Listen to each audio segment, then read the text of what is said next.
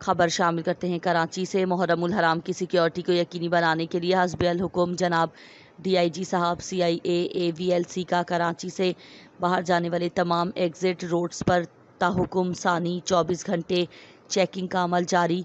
दौरान चेकिंग दी गई। हिदायत के मुताबिक चेकिंग पॉइंट्स पर सुबह सात ता शाम तीन बजे तक के दौरान गाड़ियों को चेक किया गया। मीज़ान न्यूज़ से chief crime reporter Abid Hussain Afridi की रिपोर्ट।